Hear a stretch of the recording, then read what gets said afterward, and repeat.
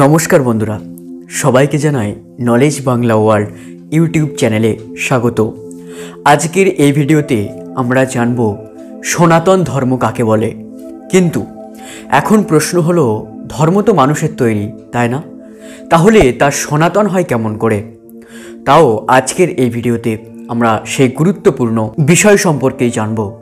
ভিডিওটি শেষ পর্যন্ত দেখুন, সম্পূর্ণ জানতে। চ্যানেলটি সাবস্ক্রাইব করে আমাদের পাশে থাকতে পারেন আরও সব এরকম অজানাকে জানতে। তো চলুন, জেনে নেওয়া যাক।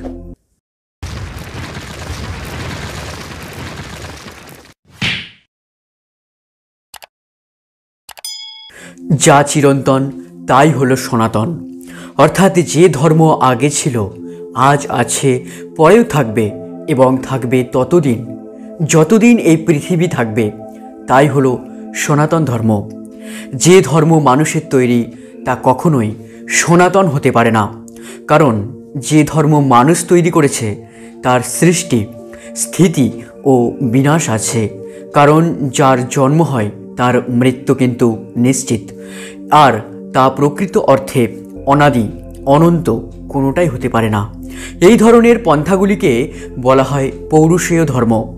অর্থাৎ কোনো এক পুরুষের দ্বারা এর সূচনা হয়েছে এবং সেই প্রবক্তা পুরুষ এই ধর্মের শ্রদ্ধা ভক্তির বিশেষ পাত্র হয়ে থাকেন এই জগতে। যদি কোনোভাবে প্রমাণিত হয়ে যায় যে সেই ব্যক্তি ভুয়ো, ঐতিহাসিক পুরুষই নন, তাহলে এই সব ধর্মের কেল্লাফাতে হয়ে যায়। এই জগতে আর এক ধরনের ধর্মও হয় যা কোনো একজন পুরুষের সৃষ্টি নয়, অথবা তার বিশেষ ও একক আধ্যাত্মিক দর্শনের ফলও নয়। বহু মানুষ যুগে যুগে সাধনার দ্বারা যে সকল আধ্যাত্মিক সত্যকে আবিষ্কার করেছেন, এই ধর্ম হলো তারই সমাহার। বলতে গেলে অনেকটা বিজ্ঞানের মতো। এই আবিষ্কর্তাদের এই পৃথিবীতে সেই প্রাচীনকাল থেকে ঋষি বলে অভিহিত করা হয়েছে।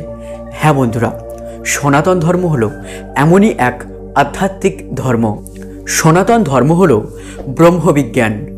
সনাতন ধর্ম বহু মানুষের সাধনা দ্বারা পাওয়া আধ্যাত্মিক সংস্কৃতি, অগণিত ঋষির স্নায়ুতন্ত্রে পরীক্ষিত ও চেতনায় পরিলক্ষিত সত্য উপলব্ধির সমষ্টি যাকে উপলব্ধি করেছেন সাধক তার সপ্ত চক্রের মধ্যে। তাই তো সনাতন ধর্ম অপরুষেয়, অর্থাৎ যার কোনো আদি বা অন্ত নেই। বিজ্ঞান যেমন বহু গবেষকের আবিষ্কারের ফল ও তা কোনো এক বিশেষ বৈজ্ঞানিকের ঐতিহাসিক অস্তিত্বের উপর নির্ভরশীল নয়। সনাতন ধর্ম তেমনই কোনো এক বিশেষ ঋষির ঐতিহাসিক অস্তিত্বের ওপর অপেক্ষামান নয়। যা নিজের থেকে উৎপত্তি হয়েছে এই জগতে, সেই পৃথিবীর সৃষ্টির আদিকাল থেকে। আবার বিজ্ঞানের সত্যগুলি প্রাকৃতিক, তার সত্যতা মানুষের আবিষ্কার স্মরণ অথবা বিস্মরণের ওপর নির্ভর করে না। অনাবিষ্কৃত প্রাকৃতিক নিয়মগুলি ঠিক তেমনই সত্য, যেমন সত্য আবিষ্কৃত নিয়মগুলি। একইভাবে বৈদিক আধ্যাত্ম সত্যগুলিও ঋষির আবিষ্কারের দ্বারা সত্যতা লাভ করে না। তা অনাবিষ্কৃত অবস্থাতেও একইভাবে সত্য হয়ে রয়েছে। আবিষ্কারে শুধু তার প্রকাশ ঘটেছে মানুষের কাছে যা এই মাত্র যে কোনো যুগে যে কোনো মানুষ সাধনার অনুশাসনগুলি যথাযথভাবে পালন করলেই এই অতীন্দ্রিয় সত্য উপলব্ধি করতে সমর্থ হবেন। যুগে যুগে বহু মানুষ ঋষিগণ তা হয়েছেনও। এই বিষয়ে পবিত্রতা ও মনঃসংযমী একমাত্র অপরিহার্য স্নায়বিক কার্য, যার দ্বারা যে কেউ এই সত্য লাভ করতে সক্ষম হন। তাই বিশেষ ব্যক্তিত্বের কাছেই ঈশ্বর তার সত্যসমূহ ব্যক্ত করবেন। এমন কথা বৈদিক ধর্ম বলে না। সত্যের প্রশস্ত পথ সকলের জন্য সমানভাবে উন্মুক্ত।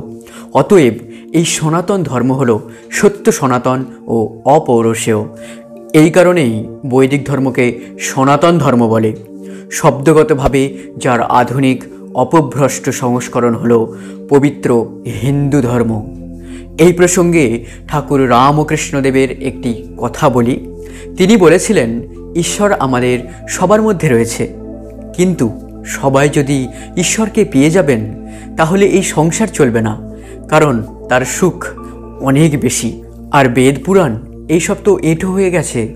শুধু ব্রহ্মই হলেন শুদ্ধ। সাধক বামা খেপা বাবা। ত্রৈলন গোস্বামী, প্রভৃতি সাধকগণ বলেছেন সেই পবিত্র ব্রহ্ম সাধনার কথা। তো বন্ধুরা নিশ্চয়ই বুঝে গেছেন সনাতন ধর্মের প্রকৃত অর্থ কী এবং এই সম্পর্কে সমস্ত অজানা কথা। এই অজানা কথা আপনাদের কেমন লাগল তা অবশ্যই নিচে কমেন্টে জানাতে ভুলবেন না।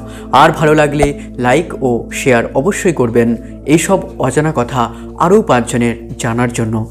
আর যদি আপনার মন চায় অজানাকে আরও জানতে, তো অবশ্যই আমাদের এই চ্যানেলটি সাবস্ক্রাইব করে আমাদের পাশে থাকতে পারেন।